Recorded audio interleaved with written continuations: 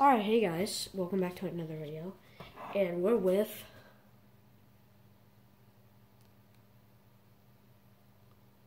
Alright, we're we're with a friend here. Um, you and you're here with the person called Central MA Life Safety, also known as from Massachusetts. Safety. Alright, so today we're gonna make cereal. So right now, um if you're not a little psycho who goes putting milk first and then cereal, please go for the cereal first.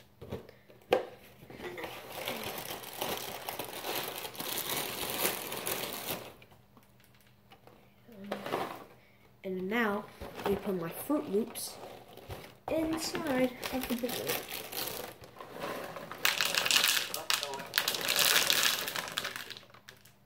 Yeah. Loops are-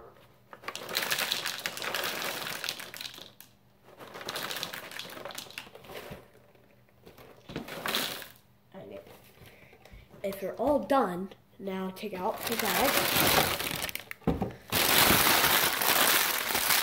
Crush it all up and throw it in the trash.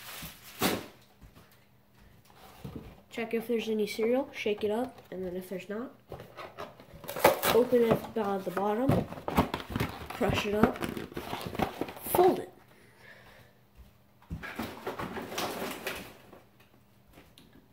Then after that, you grab your milk and you just pour it in.